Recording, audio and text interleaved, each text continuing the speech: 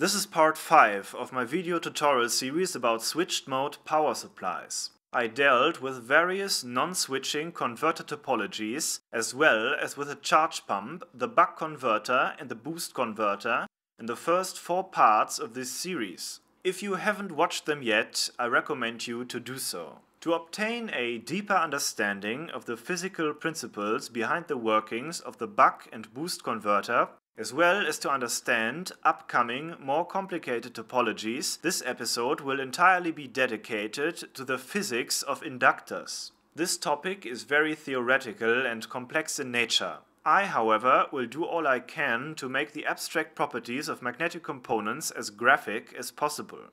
For that purpose, I have filmed some experiments and provided you with the best drawings I can make. If you find this part too theoretical, however, don't be scared. The following videos will be more practice-oriented again. Inductor Basics So, we want to talk about inductive components, but first, there is one important question to answer. What is inductance? Well, there are different ways to define the term, but I will use the following definition, and I want you to keep it in mind. Inductance is the capability of an electronic component or conductor to create a magnetic field when current is flowing through it. Now, based on this definition, I will show you some simple but effective experiments which demonstrate basic properties of inductive components. For the first setup, we have a 12 volt battery acting as a voltage source. Via two copper wires in a switch, it is connected to two light bulbs which are connected in parallel. The first light bulb is rated for 50 watts at 12 volts while the second one is rated for 20 watts at 12 volts. They simply act as a resistive load for an output power of around 70 watts. The copper wires are placed within some distance to each other and in addition a compass is brought near to one of the wires.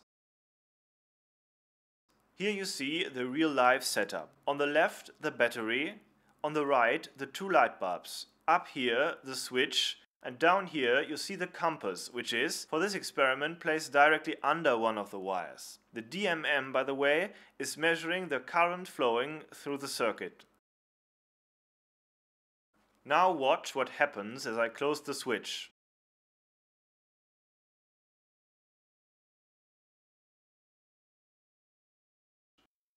As you can see, a current of around 5.8 amperes has started flowing through the circuit. The compass needle has moved quite a bit, with the north pole of the needle pointing away from us, clearly indicating that a measurable magnetic field was created around the copper wire, and as I open the switch, that magnetic field vanishes again.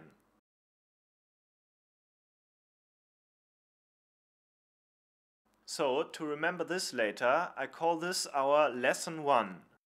Even a simple piece of wire creates a magnetic field when current passes through it and has thus an inductance. If I now put the compass over rather than directly under the wire and activate the switch, see what happens. The compass is coming in motion again, but is now pointing towards us. Why is that? Well, it indicates that the magnetic field is not radiating away from the conductor, but that the magnetic field lines exist in closed loops around the conductor. It also shows that the magnetic field lines clearly have a direction. If the direction of the electrical current flowing through the conductor is known, the direction of the field lines can be determined by the right-hand rule in this way. The thumb of your right hand points in the direction of the technical current flow, while your remaining fingers indicate the direction of the field lines around the conductor. I sum this up to lesson 2. The magnetic field is a directed vectorial quantity, but the magnetic field lines do not radiate away from the conductor, but form a closed loop around it. The direction in which the field lines point can be determined by the right-hand rule. To underline that last point, I will now twist the two copper wires of our circuit together and will then repeat the experiment. Now watch what happens as I close the switch again. The light bulbs light up.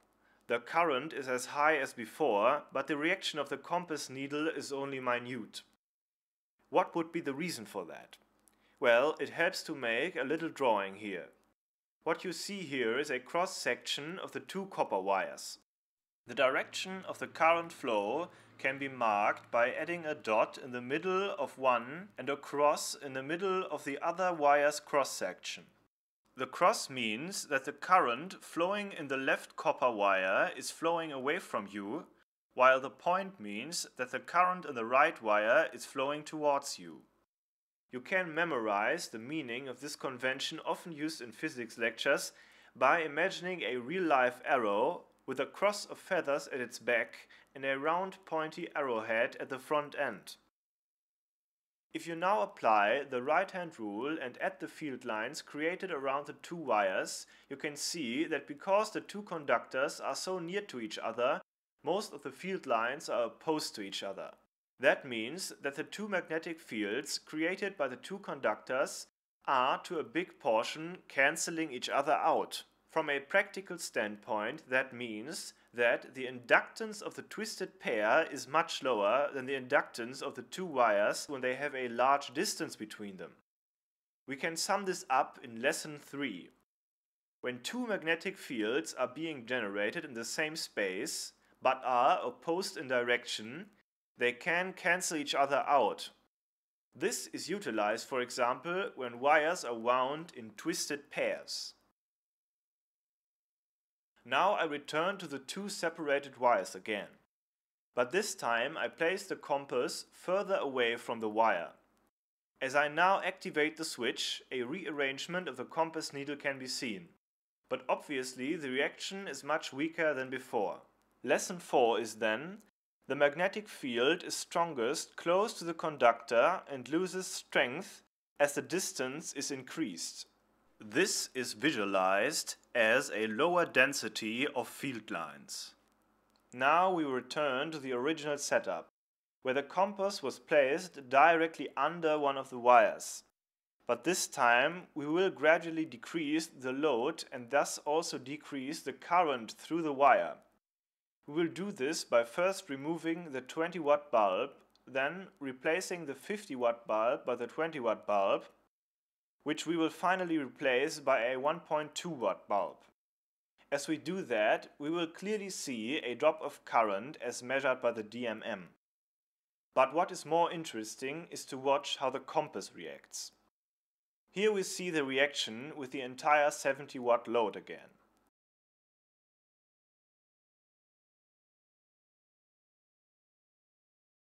Now with 50 watt load.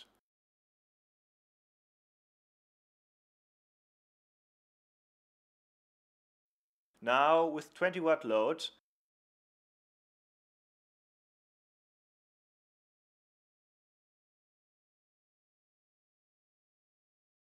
and now with 1.2 watt load. As you can see, a decrease in current through the wire results also in a decrease in the strength of the magnetic field. And so we can formulate lesson 5 the magnetic field strength is a function of the current flowing through the conductor. A higher electric current results in a higher strength of the magnetic field. So, as you can see, even with an instrument as simple as a compass, many properties of magnetic fields can be explored. Roughly 200 years ago, the Danish physicist Johann Christian Ørsted performed similar experiments as we did just now.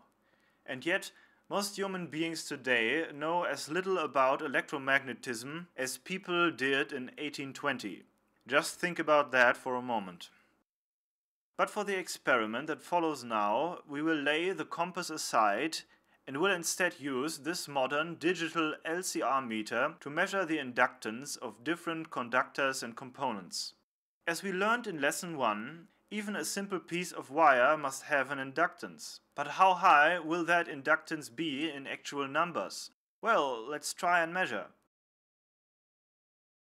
As you can see, the LCR meter measures an inductance value of 0.4 microhenries, which equals to 400 nanohenries or 4 times 10 to the power of minus 7 henries. This is a very small inductance and it is the lower end of what can be technically controlled by simple means. I now wound the same piece of wire into a tiny, roughly cylindrical air coil with 8 turns in total. Let's measure the inductance again. As you can see, the inductance has gone up to a value of around 0.6 microhenries. Still a very small value, but nonetheless a clear increase in inductance. Next I will take this half of a three-legged ferrite core and put the air coil over its middle leg. If you wonder what ferrite is, be patient, I will explain it later. By measuring the inductance again, we can see that it has further increased to a value of around 4 microhenries. Now I take the other half belonging to the core and put it on top of the first one. Now let's see what we get. As you can see, the inductance has gone up to a staggering 170 microhenries. Now I apply some pressure to the upper half of the core with this plastic rod and measure the inductance again. And the inductance has again increased. All in all, the same wire wound around the ferrite core has now reached an inductance hundreds of times bigger than the initial value. So, how can all this be explained? Well, the first thing to explain would be why the inductance of a wound air coil is higher than that of a straight piece of copper wire. Like in the case of the twisted pair, it helps to make a drawing here. In the cross-section of the coil we can see that the magnetic field lines created around the wire point all in the same direction inside as well as outside the coil. The field lines are interlinked and just as the magnetic fields of the twisted pair cancel each other out, the magnetic fields of the coil add up.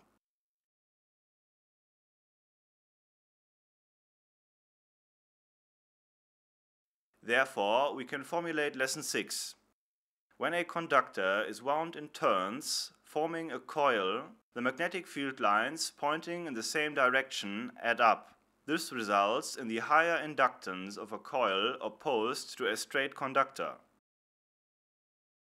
But why did the inductance go up a bit when the half piece of the ferrite core was added to the air coil? And why did it increase even more with the two complete halves at work?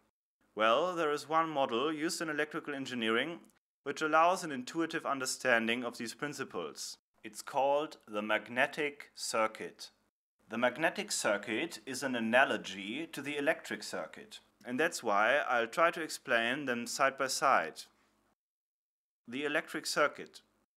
Inside a voltage source, electric charges are separated from one another so that they have a so-called potential difference or voltage with respect to one another. By the separation process, an electric field with the electric field strength E is created between the two electrodes of the source.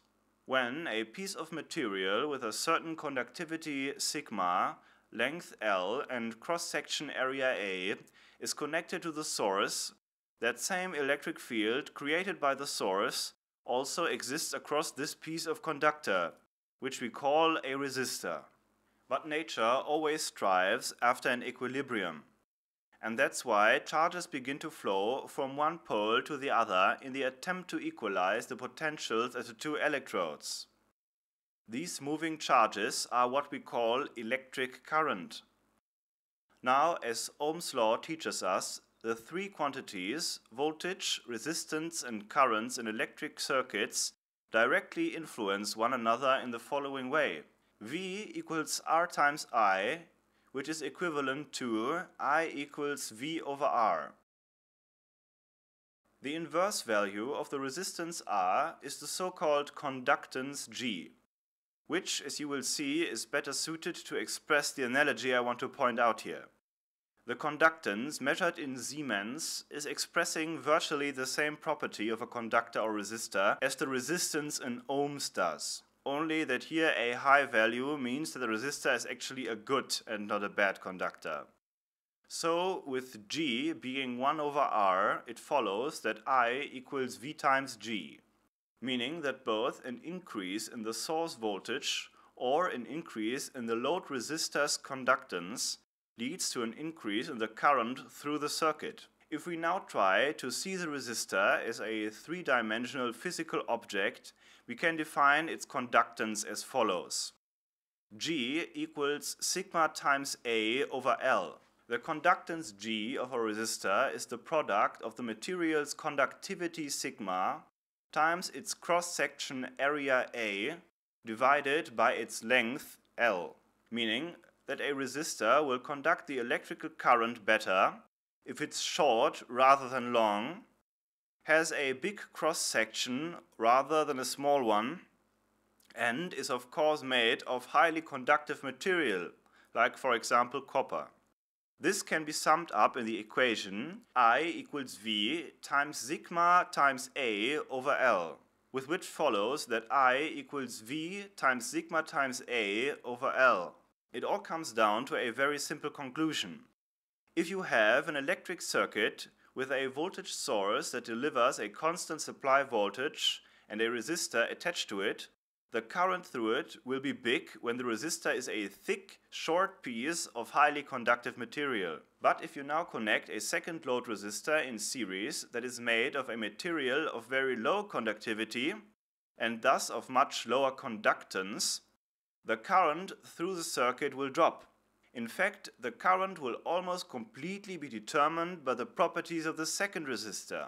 You can show this in a very simple example. Let's say you connect a resistor with a resistance of 1 ohms in series with another one with 1 kilo ohms, supplied with a voltage of 12 volts. According to Ohm's law, the current will be around 11.99 milliamperes. That's nearly the same value as if you would only have the 1K resistor alone, which would give you exactly 12 milliamperes. We can sum this up to the sentence, every chain is only as strong as its weakest link.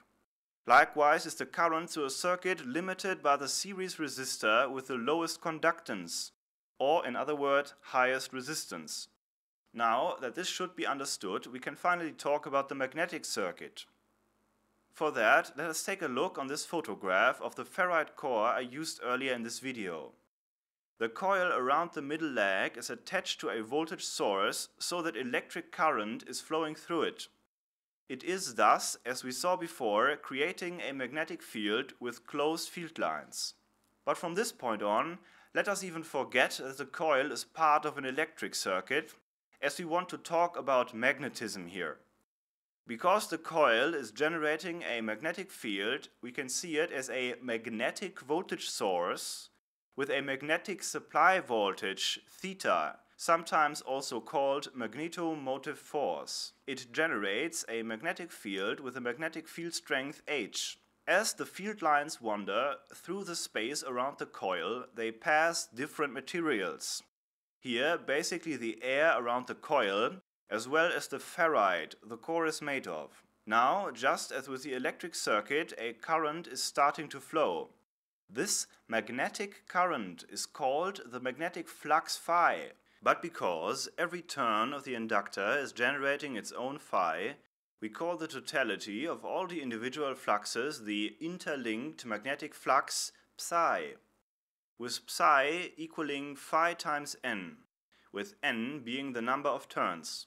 And just as every material has a certain conductivity for electric current, so do all materials have a conductivity for the magnetic flux. This quantity is called the permeability, mu, of a certain material. Now, in analogy to Ohm's law, V equals Ri, we can formulate also a law for the magnetic circuit. It's called Hopkinson's law, and it says that Vm equals Rm times Im, or theta equals Rm times phi or especially for coils, theta equals Rm times phi times n equals Rm times psi. The magnetic resistance, by the way, is actually called reluctance. And the analogy goes on. Just as electric currents always prefer the path of lowest electrical resistance, the magnetic flux always wants to go the way of lowest magnetic reluctance. That means that almost all the field lines are bent and bundled inside the ferrite core, which is made of very high permeability material, while only a few field lines wander through the air, which has a very low magnetic permeability. In almost all cases, however, the absolute value of the magnetic flux will not appear in our equations, but it will be expressed via the so-called magnetic flux density B, which basically gives you the flux in relation to the conductive cross-section area it passes through. It's defined in the following way, with B equaling d psi over dA, with psi being the flux through the magnetic circuit and A being the cross-section area of the conductive path inside the coil, and the additional condition that the flux psi is constant over that area, we get B equals psi over A. When inserted into Hopkinson's law, it gives us theta equals Rm times B times A. When transposed for B, we get B equals Vm over Rm times A. And as we did with the resistor inside the electric circuit, we also have to imagine the magnetic reluctance Rm as a three-dimensional object with a length L, a cross-section area A, and a magnetic permeability μ. The reluctance can then be expressed as follows. Rm equals L over mu times A, meaning that a piece of matter will be a good conductor for the magnetic flux when it is short of big cross-section area and made of material with high magnetic permeability.